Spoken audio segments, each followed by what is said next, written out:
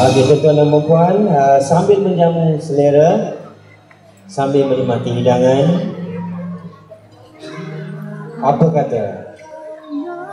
Kita luangkan sedikit masa untuk menyaksikan persembahan dengan lagunya Bunga Rampai. Dipersilakan.